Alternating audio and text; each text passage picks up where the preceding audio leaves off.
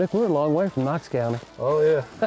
But you know, you told me you travel all over the state to chase raccoons, huh? yeah, we travel uh, about everywhere. I've seen some pictures of this dog, Yeah. and uh, th- this has been a pretty special dog for you. Yeah. She doesn't know me. She's getting to know me now, isn't she? Uh, she's she's friends with anybody she meets. what kind of dog you got here? What's her name? Uh, Allie, Allie, okay. she's a American Blue Tick. And now this dog here has actually won some awards, hasn't she? Yeah, she won the Grand American back in 2017. A couple other hunts she's placed real good at.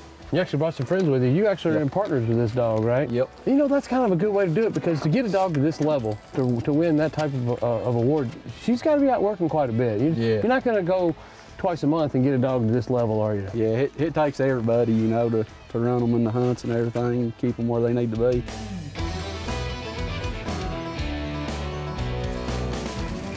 I'll cut her right through here.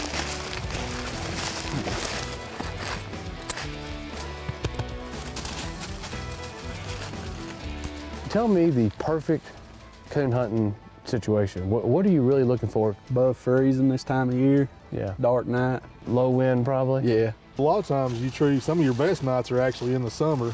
I know it's, I mean, a lot of people don't like summer hunting. We got snakes where we actually live, but a lot of times, you know, around cornfields and stuff, just just actually running dogs, not killing coons, but just running dogs. Yeah. Man, those cornfield hunts are fun too. Oh, yeah, I bet. the red line right here, that's Allie's track. Shows her down in this holler here off around the point.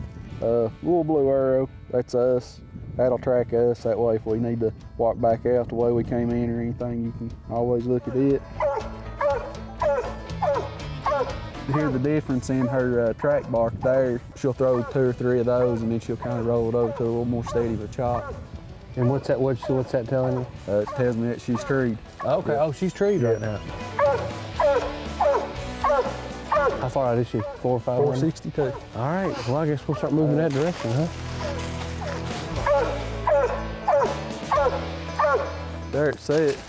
You already see the raccoon? Yeah, coon's right up there in that fork. Uh, that's Yeah. a good sized coon. I can see it sitting right there. I haven't seen his face, but I definitely see the coon. Yeah, there's two of them up there.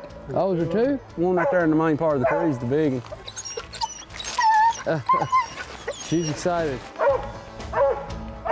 You ready? There we go.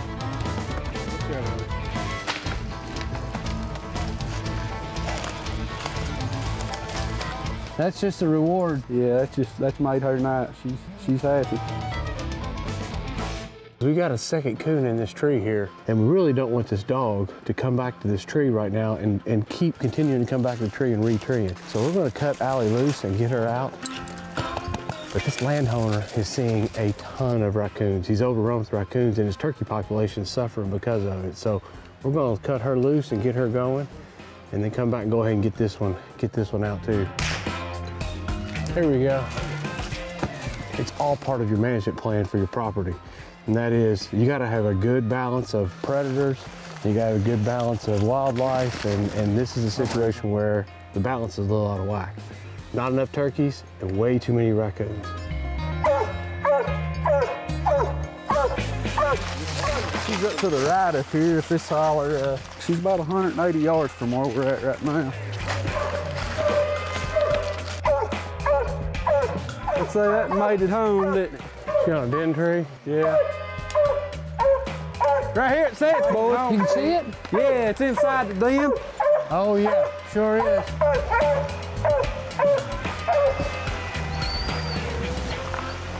Well, we're gonna get the dog, move her away. Obviously, this was a success. We, she treed a, a raccoon right here in this tree, but in this situation, you gotta just tip your hat to the raccoon and say, well, you made it home.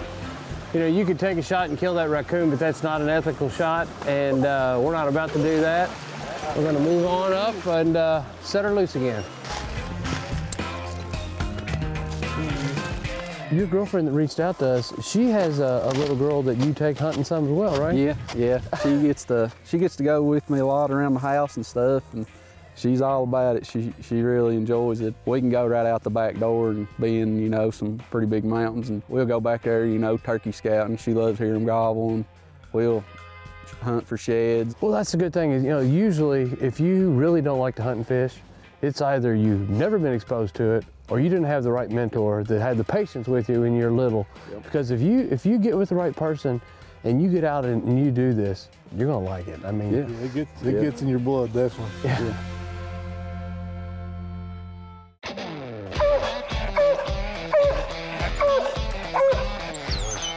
Looks like she's only about 200 yards right here this way, so she's treed. Let's hope it's not a den.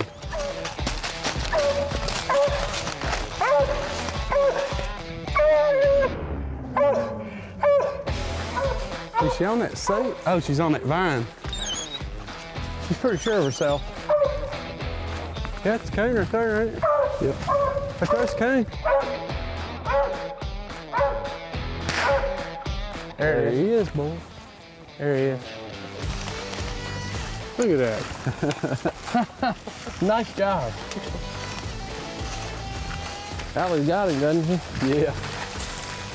I'll tell you what, guys, that dog did a great job tonight. On a really short work night, we come out here and she treated four coons. We ended up getting three. We saw coons on every time she was treated. There wasn't a situation where we never saw coons. So we know that there was not one time she cold trailed. Yes, done a good job. Kind of bad weather out tonight, a little cold. Makes it rough for a dog.